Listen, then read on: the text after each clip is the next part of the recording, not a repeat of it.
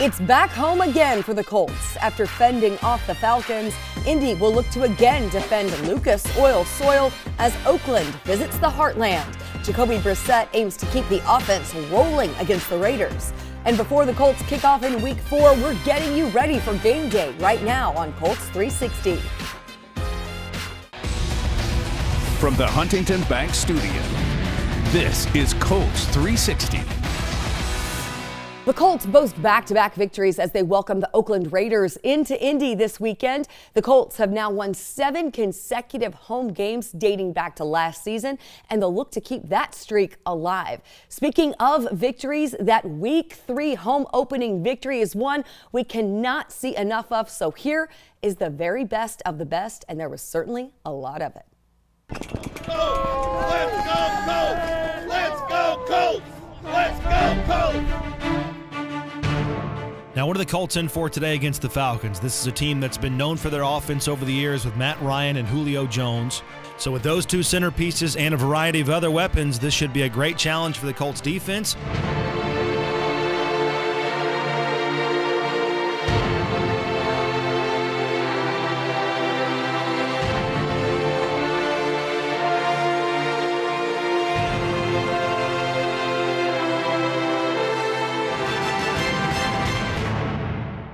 First offensive drive of the game as the Colts go right to left. Jacoby Brissett out of the gun, throws right into the flat. The ball is caught by Parris Campbell. Wills out of a tackle. He's at the 35-yard line, drugged down from behind at the 34. Good job, Jacoby.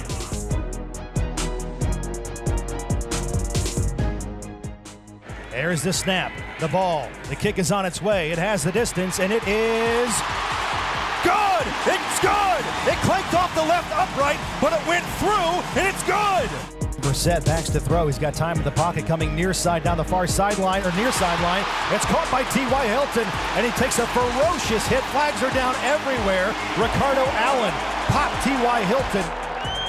Nyheim Hines in the game. They fake a screen to him. Brissett throws wide open to the end zone. It's caught. Zach Pascal.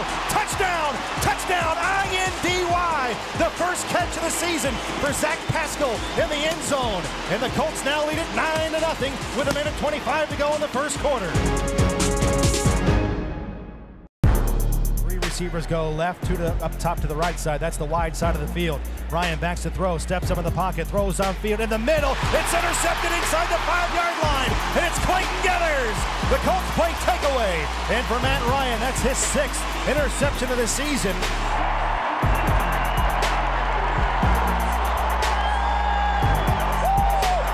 Brissett play action on first down, steps up into the pocket, hit as he throws, checks it down, it's caught by Nyheim Hines, makes a man miss. He's at the 10, and he's struck down to the nine-yard line. Set out of the gun, rolls to the right side, looking, looking, throws, fires, it's caught. Touchdown, T.Y. Touchdown, I-N-D-Y.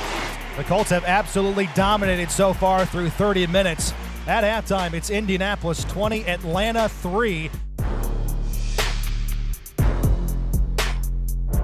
First down at the Colts 47 yard line. Matt Ryan, five step drop, looks right, launches it deep downfield, has a receiver wide open, catches it at the 20 yard line. That's Julio Jones.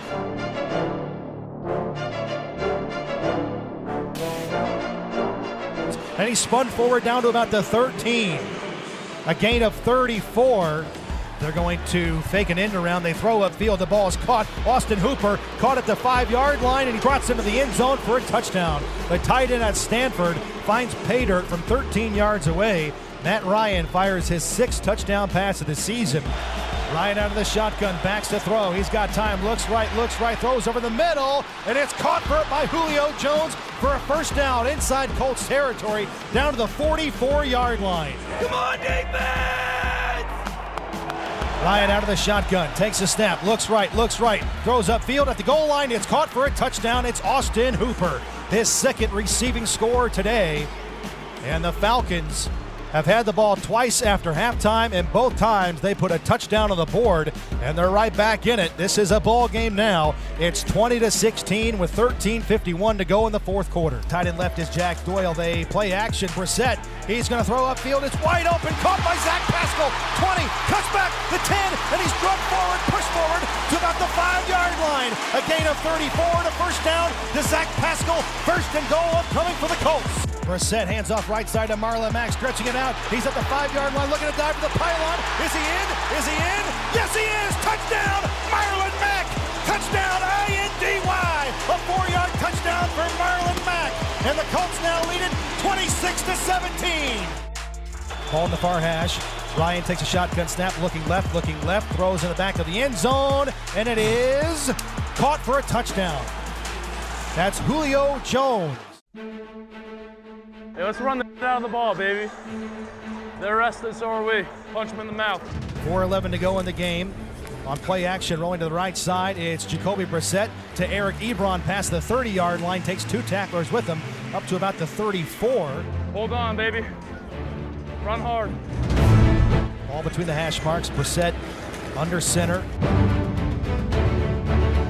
On a counter right side, huge hole for Marlon Mack, 50, down the far sideline, 40.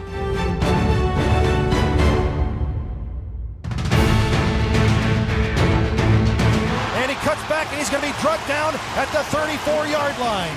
Brissett out of the gun. They throw it right side. It's caught by Jack Doyle. First down, 20, 15, and he goes down and he stays inbounds. Slides up to the 14 yard line. That's a gain of 13, and Jack Doyle comes up with a huge catch, a first down for the Colts. And the Colts in week number three are victorious. They knock off the Atlanta Falcons 27 to 24, and for the first time since 2013, the Colts are 2 and 1 after 3 games of a season.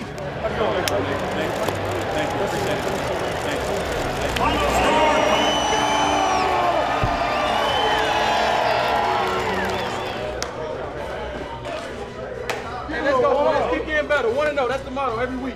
One and zero on three. One, two, three. One and zero.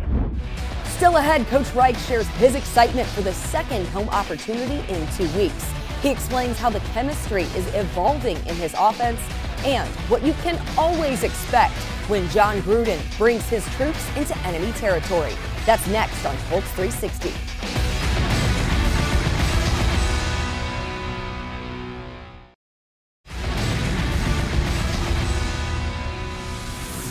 Joined now by head coach Frank Reich. Coach, you're coming off back to back wins. You boasted that first home opening win of the season. Your team now has seven consecutive home victories going back to last season. What is the difference maker, biggest difference maker, playing at home, especially when you have the crowd so behind you like you had last week against Atlanta? Yeah, I mean, I don't want to say I was surprised, but it was loud in there, and it was really excited. Our players were feeding off of it. You know, obviously, from a communication standpoint, it makes it hard for the opposing defense when our crowd is going crazy, especially on third down for the opponent.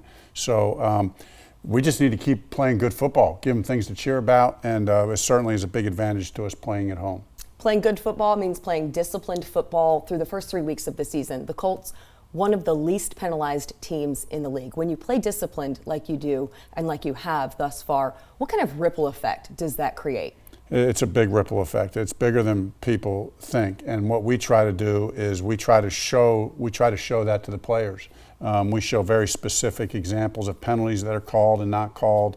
Um, and then when they are called, we try to show what impact it has on the game, both positively and negatively. And so we take it really serious. I give our players a lot of credit. We got really smart guys. They understand. They understand the impact that it makes, and uh, we, we, but we can't take it for granted. We got to keep this up. On Sunday, Jacoby had such an impressive start 16 straight passes that he completed. You've discussed a lot that the chemistry just continues to build between yourself and Jacoby and also Nick Sirianni and quarterbacks coach Marcus Brady. Just how much are you guys continuing to learn about one another to create the effort that he had last Sunday with two touchdowns and over 300 yards? Yeah, it is a group effort. It really is. And it starts obviously with Jacoby and his mindset and his preparation, and he does a phenomenal job. Uh, but Nick and Marcus uh, and Brian Hoyer in the room, and Chad Kelly in the room, it's a dynamic room. It's a lot of fun. I mean, it's just a lot of fun to work with these guys, and there's good interaction. It's always give and take. Uh, Jacoby's great. He has a lot of input, a lot of opinions, but he also understands that you know, from a coaching perspective, we're working really hard, you know, late into the night trying to give a good plan. So there's a lot of receiving on his part too. So a great dynamic, great, great uh, professional room to be in. You've spoken a lot about that collaboration, especially within your quarterback room in particular, between yourself, Coach Sirianni, Coach Brady, and then you mentioned Brian and Chad in there as well alongside Jacoby. Is that something that you experienced firsthand as a player that you found value in, or is that something more so that you grew an appreciation of maybe through your coaching tenure? Hmm.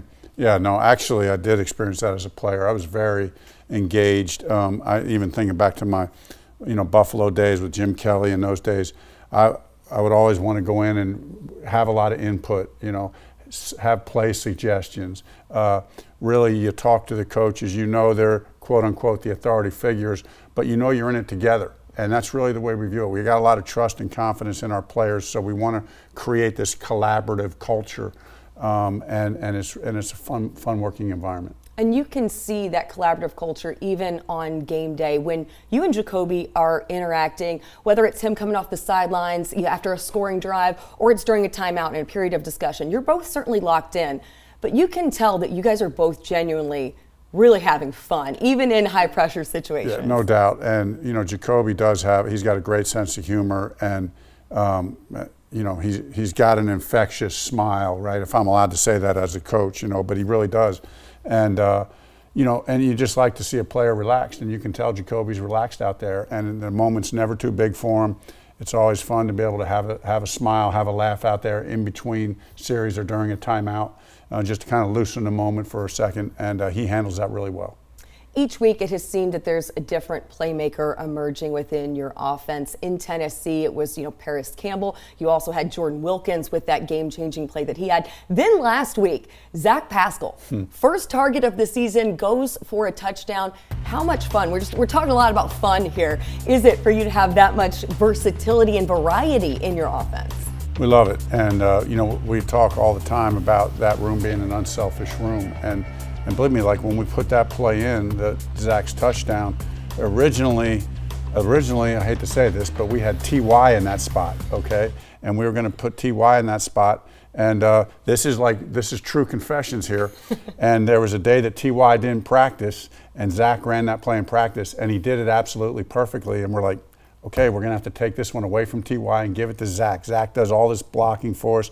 He does all this other stuff this one's going to Zach. And so you're happy. The guys are happy for each other. I mean, mm-hmm. that's what's really fun to see.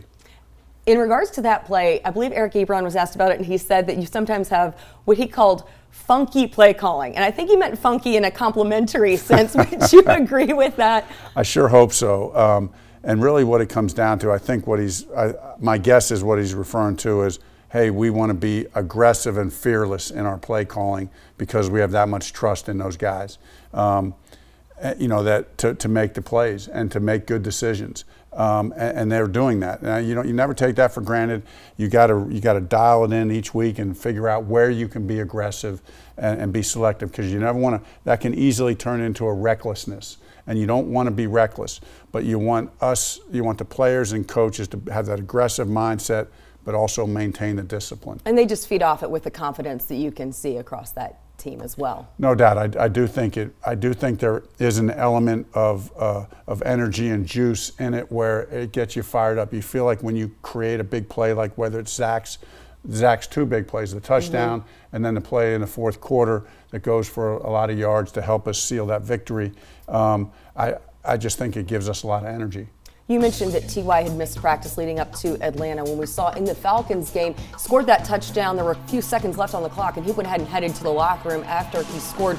He proved last season that he could be limited in practice and still show up on game day. How much does that speak to just the resilience of T.Y. Yeah, I mean, it speaks to his toughness, number one, but his resilience and his mental attitude, and the fact that even when he's not practicing, he's staying mentally tuned in to the game plan to completely understand what he's doing. He's a pro.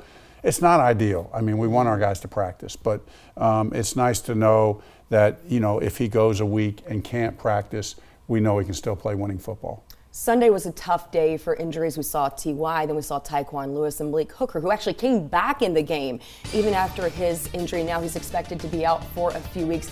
How difficult is that to see for Malik, given the fact that he's already battled through those injuries in the first two seasons of his NFL career? It's tough for Malik. He was really, you know, he's really been having a great year now. You know, this isn't a this isn't a season-ending deal, so um, that's the good news. but uh, and credit to him for really coming back in. I mean, I don't think any of us knew that it was that serious, and so uh, hopefully he'll heal up quick and, and, we'll get him back. But he was having a good year, and like you said, Larry, after a couple years of having to fight off injuries, tough break for him, but he'll bounce back. It sounds like that Khari Willis will step up. I mean, it'll be by committee as always, but certainly getting the biggest chunk of that task is going to be Khari. He had a great game in Tennessee. How confident are you? What has he proven in his ability to fill that void of Malik Hooker on that interim basis? Yeah, I mean, we're very confident in Khari. As you said, he will get the bulk of the work. Um, he's just shown a lot of maturity, but not just maturity and intelligence, which he has lots of both of those, but good playmaking ability. You know, this guy's tough. He's a good tackler. He's a good cover guy. So, you know, you want a guy back there who you can trust. Um, that's a very key position. And uh, I, we, even though Khari's a rookie, we feel like he fits that mold. Looking to your opponent on Sunday in the Oakland Raiders, they certainly have a good quarterback in Derek Carr. Regardless of their personnel that they bring in, what do you always know to expect from a Jon Gruden coached football team? Uh, you know, he's obviously been around the block. He, he and he he's an excellent coach. They're well coached team. Um, he knows a lot about our defensive scheme. You know, when he won the Super Bowl um, as a coach for the Tampa Bay, they were playing this scheme. Um, they were playing this scheme, so he went up against it in practice. So I'm sure he'll have a good game plan dialed up. They did fairly well against us offensively last year when we played them, so it'll be a good challenge for our defense. Um, you know, going up against a team that has formidable weapons, a quarterback who can be very dangerous. Uh, and what we need to focus on is just playing good defense and, and, really getting pressure on the passer, you know, making that, you know, really affecting that quarterback as much as we can. We'll also look for the crowd to be affecting them as well, bringing the juice to Lucas Oil Stadium on Sunday. Coach, thanks so much for the time. Thank you. Still ahead on Colts 360, a conversation with the captain.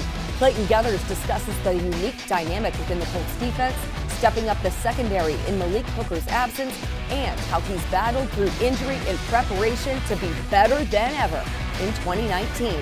More ahead on Colts 360.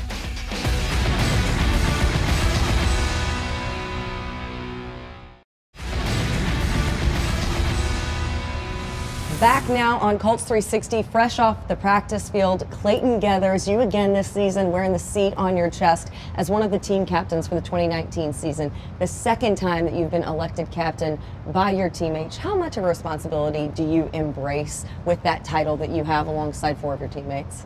First and foremost, it's an honor. Um, just to know what they think about you in the locker room, you know, just how they act around you and how they respond to you is an honor. But you know, it, it, it makes it easy because we have a lot of leaders in that locker room. So it makes it makes being a captain easy. But you know, it just just to be around the guys is, is a good feeling. Also, a good feeling when you get an interception against the Atlanta Falcons. What were they showing you? What were you seeing from that Falcons offense that created that opportunity for what was a strong, I mean, a huge play at that point of the game on Sunday? Well, yeah. So, you know, Matt Ryan good quarterback and they got a good receiving corps.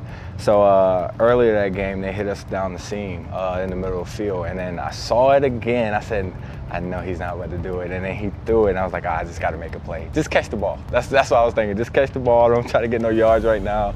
Just look it in, and that's what happened, and that was a huge play. It took points off the board. We saw last season that when you guys would force those turnovers defensively, that Jacoby Brissett would rush down for the celebratory end zone picture that you guys would have. Obviously, he's a little busy now on, on game day, so he's not able to do that. Has he found a different way to celebrate with you guys? And uh, are we getting Brian Hoyer involved in that? Is he going to carry the torch maybe with that celebration for Jacoby? I, I, I don't know. Um, we should see. Um, you know, I think some of the defensive guys should go to him and, and ask him and see what he says. Uh, but you know, it's fun. It, it, brings a lot of energy. So I'm, I'm just happy we do that and just keep having turnovers. You know. How much of a difference does it make at home as well, playing at Lucas Oil? You guys have back-to-back weeks of doing that defensively, especially after we saw that raucous atmosphere, that hostile territory that you had in Tennessee. Being back at home, how much of just a, an opportunity is that for you guys? Oh, it's, it's huge. Um, it's an advantage for us. So, uh, you know, last week Kenny said something that resonated with the whole team. He's like, you know, we at home, the swagger is different. And then the fans bringing the energy, you know, it just all set in. and it was great. You know, we enjoyed it, and just to be back at home, to feel that again, um, you know, it's huge. One thing that has been fun, a, a, new tradition, I don't know if it's new this season or maybe carried over from last year, but on Fridays, if you notice in the meeting rooms, a lot of guys are walking around, walking through the hallways, wearing different throwback jerseys. Yeah. You had a very significant throwback jersey last week. What was the significance and maybe what did you have to go to, the links you had to go through to get that special jersey to pay homage to, to your teammate Malik Hooker? Yeah, so Malik, that's my guy. Um, I thought, you know, doing the throwback jerseys, I was like, hey, you know, I want to do a, a, real throwback, another throwback. And I was like, why don't I do some of the guys on the team? You know, uh, Malik was a great basketball player, you know, so I was just, had to make a couple calls, uh, talk to his coach, and um, got it sent here. And that was, and just the look on his face when he was like, oh, yo, how did you get that? I don't even have one. so uh, it was good. Um, got some more coming. So stay tuned. Oh, you keep raising the bar. stay tuned. You've battled some injuries, I know the knee and the neck previously in your career. How much has your family played a role just in keeping you motivated and encouraged? And this now being probably the best you've felt in a number of seasons uh, at this point in the year. Family played a huge role. I'm, I'm big on family. Um, and, you know, one thing they always tell me, you know, your current situation is just, it's not forever you know. Uh, so it's going to be some trials, there's going to be some tribulations, but you just got to keep pushing.